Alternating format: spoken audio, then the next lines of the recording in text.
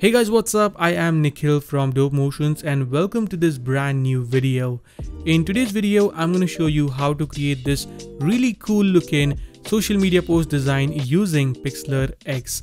Pixlr X is very easy to use design tool which helps you create super amazing designs in just a few clicks. So with that said, let's see how to use Pixlr X and how we can create this cool design.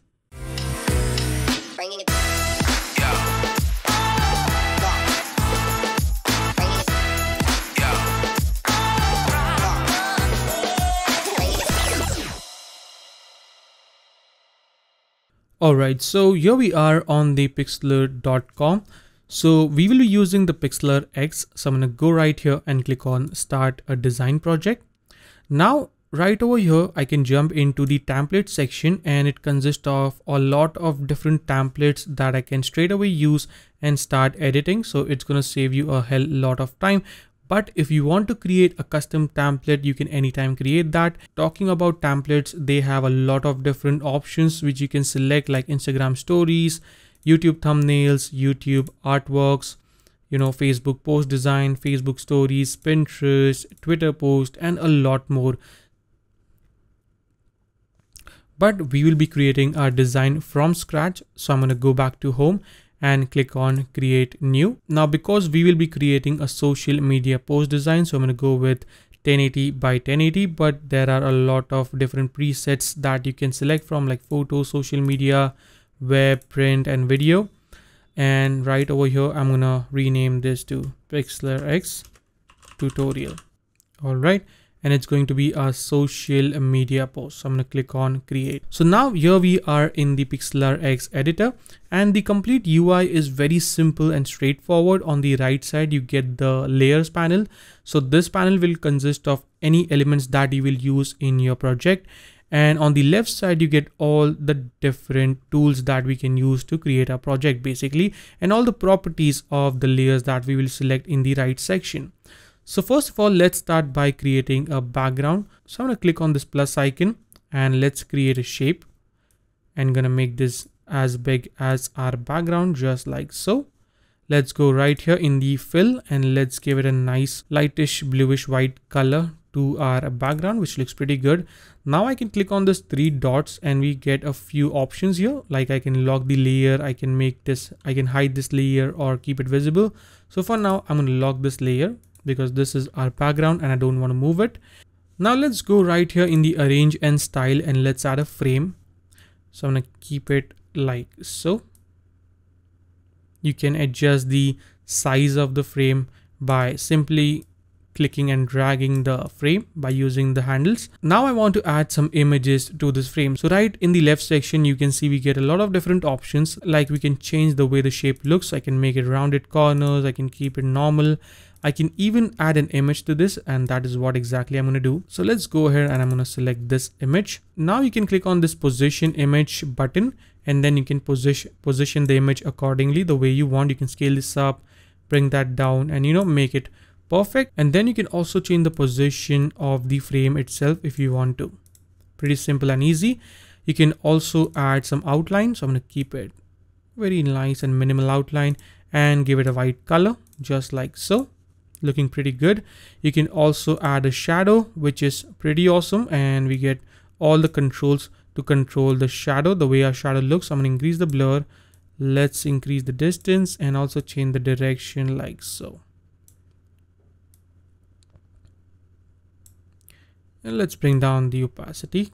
Gonna keep it a very little. So it, it's gonna help us to add some depth into our scene, which is looking very, very nice. So let's place this right over here and I'm going to hit control C control V to copy paste this. So we have another copy. I'm going to scale this down. Let's make, place this somewhere around there. And now we can change the image. So I'm going to go right here, set image and add a different one. So let's add this one. Let's hit control C control V again. Place this one right over here. All right let's select this click on set image and let's add a different one so i'll add this one now if i want to add more elements to my design i can jump into the I can jump into the add elements or image section. So we get a lot of different elements that we can use to enhance the complete design. So as we are going with a photography workshop theme, I'm going to click on this element to add it. And there we go. I can scale this down. You can, you know, adjust it like that and make it as big as our image, just like that. And then I can just uh, add a little bit of rotation. So I can hold this circular handle that you see and I rotate it just to make it look even more cooler and also I'm to rotate this particular images as well just to give it a nice photographic look and I think I'm to keep it at the top so I'm to move the first image at the top of these two images so this looks much better to me now to add our text you can also jump into add text section and there we have a number of different presets to choose from if you want to go with that but because we are going with a much more minimal look I'm going to go right here in the layer section and we can add a text just like so.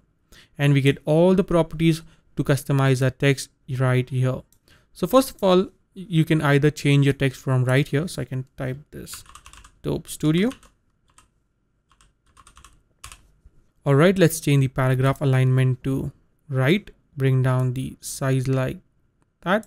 And for the font, again, we have a lot of options to choose from, but I'm going to go with Arial font, one of my typical favorite font. And let's increase the size of the text a little bit like that. Gonna place it right over here.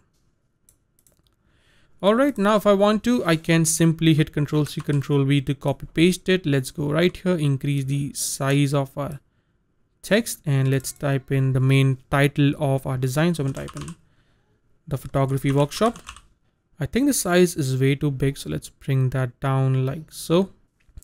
Now with text, we have a lot of different properties to choose from. Like we have curves, we have circle option, you know, and a lot of cool options that you can play around with. Like we can add a background, we can add an outline. We can also add a shadow, which looks pretty nice, by the way. So this is going to be our text. Now I'm going to add some details regarding our workshop. So I'm going to simply copy this text from here and we can hit control C control V pull this down right here double click and control V and then bring down the size keep it very small like that and we can increase the line spacing. Also gonna make this one bold. And we can adjust the paragraph like so. Let's keep the size to around 12 and increase the line spacing. There we go. So we have added a detail. It can be anything. It can be our address of the workshop of the workshop venue or something like that. And finally let's go right here and add a shape. So i'm going to add a rectangle and, and i'm going to use this as a line basically. So let's place this right here and i'm to color this up. So let's go with a nice um yellowish orange color like that. It's way too vibrant. Let's go with a much more darker tone. All right copy this hit control c control v and let's oh my gosh. And let's move this right here at the bottom. So there we go. Now there are a lot of different things that you can do using pixlr. For example i can also add an image uh, let's use maybe this image. It's way too big i think. So just to show you guys what we can do with this you can adjust it. So we have all the different controls to you know edit your image. And we can also add cool effects with some pre-made presets. So you know you can see the preview right over here directly. So it's going to save you a hell lot of time. You can directly apply effects from here which is pretty cool i think. Also we have the liquify tool which is pretty awesome. I can select the liquify tool to adjust the image and you know create some really weird looking designs. So yeah you can do a lot of different things with this. Then we have the retouch tool using which you can do spot healing and whatnot and you know get rid of any spots if you want or you can get rid of the complete face i think if you want to. By the way this uh, spot healing tool works really well you know but you get the idea you know there are a lot of different cool options that you can try it out. For example if you get the premium version you can get access to some really amazing tools like the glitch tool using which you can create some awesome glitch effects. You can add fake depth of field using the focus tool. You can use the dispersion tool to create some amazing effects. So there are so many amazing things that you can do. Now to save this design, it's pretty simple. All you have to do is click on save. You can select whether you want to save it in low res, medium or high and just click on save and boom there we have our design ready to roll ready to post on our social media platforms. So that is how you can use pixlr x to create some really amazing posts or you can use the free templates that they offer. So i would definitely recommend you guys to go ahead and check it out. The link is in the description below. With that said i will see you guys in the next video. Till then take care and always stay raw stay creative. Peace out